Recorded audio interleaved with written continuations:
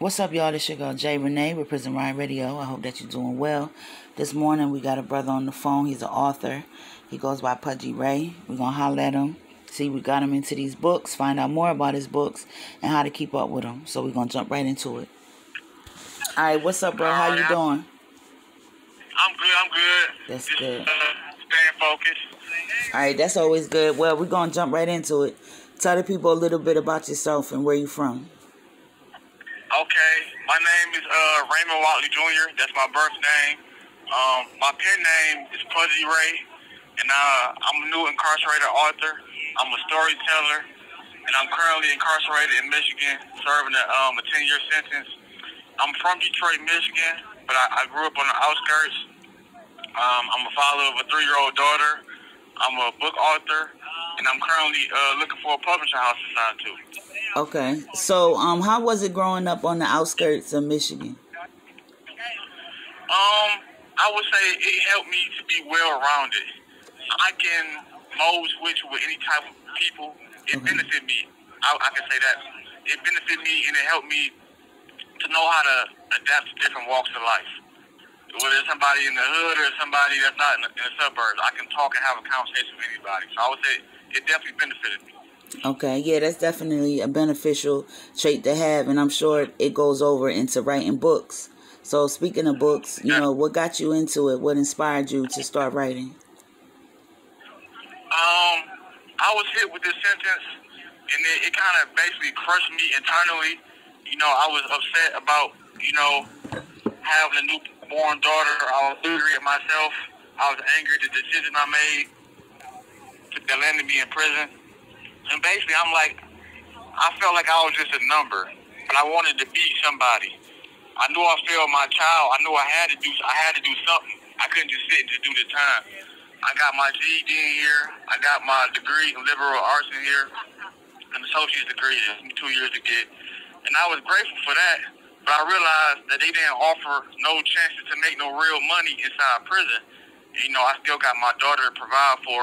Right. I was looking for a way to help me um, to have a fin- financial background, a, a financial um, stepping stone, step, stepping stone for when I come home Right. and writing books.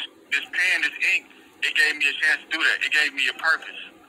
So I just basically did it to start making income, but I realized I also had a passion for it. Okay. All right. Well, that's what's up. Having a passion about something that you can make money from is definitely, you know what I mean, what people are trying to do. It's like part of the American dream.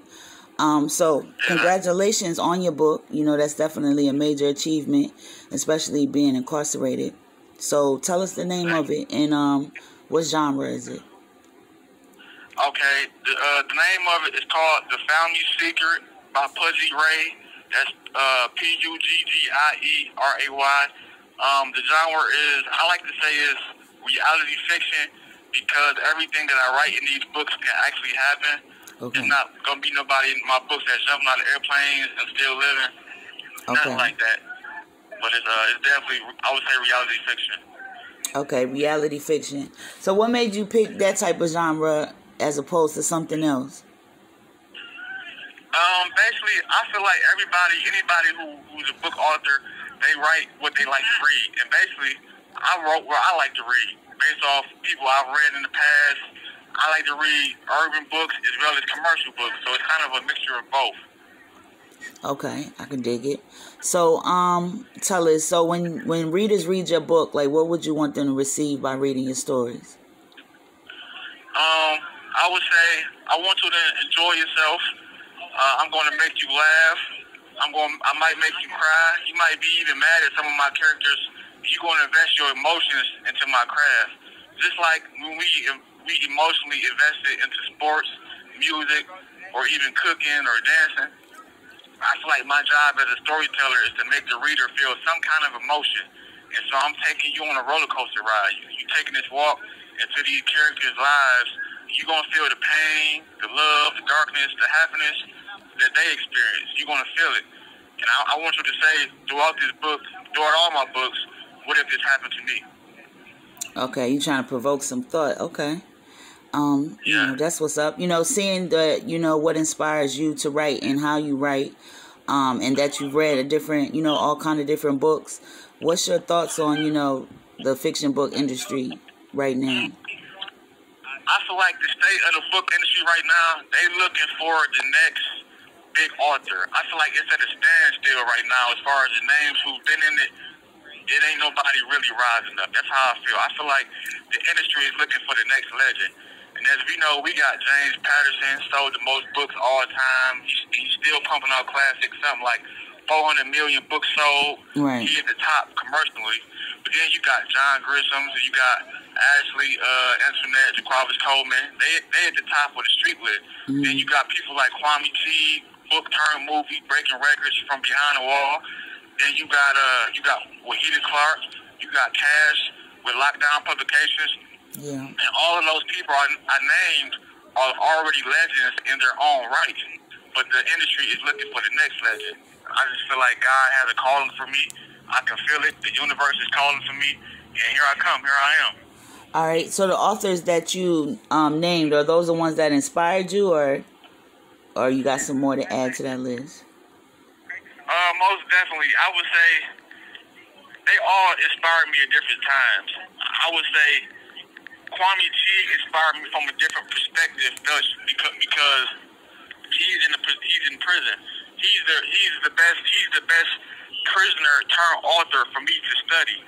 He's probably the most successful person that accomplished book writing or, or movie writing from behind the wall. He opened my eyes and changed the way I think of what is really possible from behind the wall. He set the best example.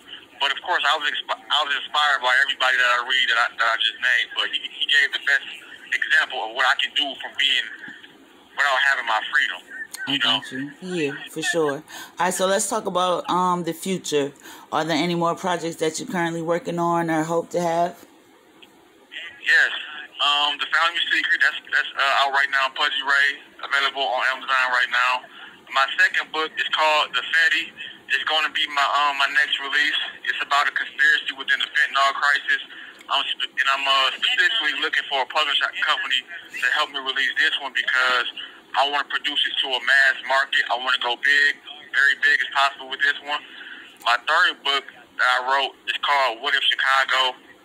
The fourth book is called The Devil is, the Devil is a Lady.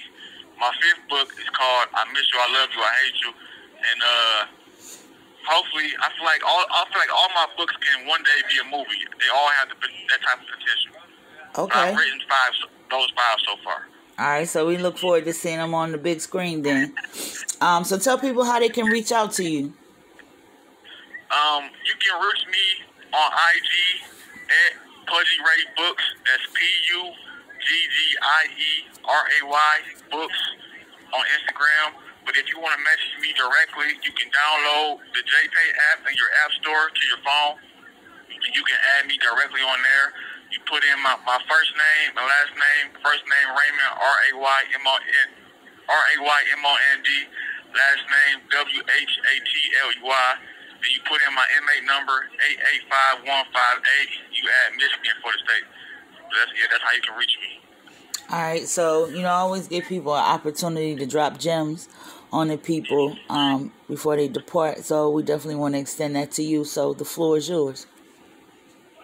I just want to say anybody out there who, who has an inspiration to to write and to do something specifically, I want to talk to the people that's incarcerated or the people that know somebody that's incarcerated that's trying to do this. It's not easy. It's blood, sweat, and tears. It's very hard to do this from behind the wall. But if you believe in yourself, I don't care what you're going through. You might be on lockdown one day. You might have had a bad conversation with your family. You might be going through it, trying to talk to your kids, whatever you're going through you might be low on funds. Use that anger and use that that tribulation as your energy, as your fuel to keep going. Me personally, I know I have what it takes within this industry to, to, to prevail, and I, I'm not gonna let anything stop me. I know um the sky is the limit, and I do want to thank I want to thank um Big Sis Jay Renee for this opportunity to speak on this platform. I want to uh, thank Dutch for this platform. And I hope the powers that be can free him because, you know, he's helping, he's showing prisoners how to do right from behind the wall. I feel like he can do more as a free man. So thank him, thank Prison Riot Radio for this interview. Thank you to my mom for being my backbone. Thank you to my child for my motivation. Um, thank you to God for, for my gift of storytelling. And thank you in advance for, for purchasing my new book. And thank you for listening.